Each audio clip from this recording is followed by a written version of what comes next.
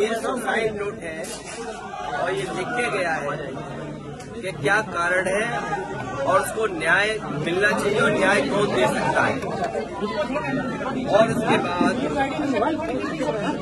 मेरे हाथ में जो चेकों की फोटोकॉपी है, ये चेकों की फोटोकॉपी मेरे हाथ में है।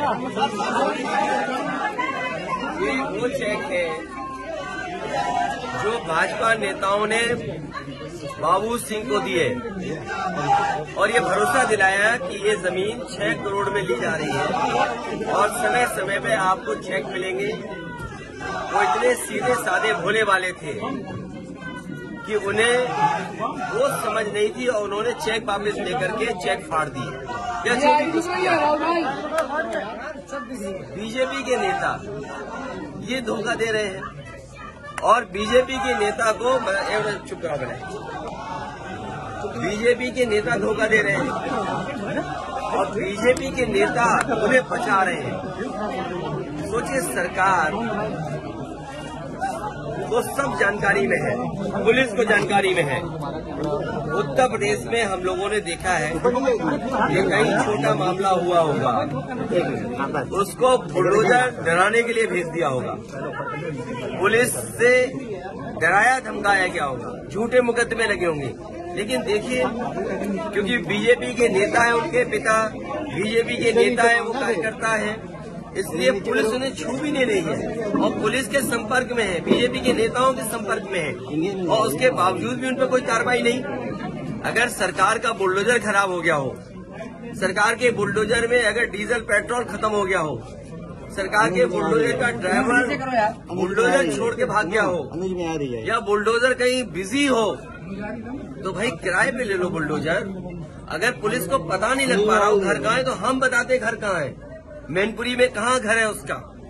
मैनपुरी में कहाँ रहने वाला है? पुलिस को सब पता है, क्योंकि वो बीजेपी का नेता है। बीजेपी को पैसा दिया होगा, इसमें से कुछ मिला होगा अधिकारियों को।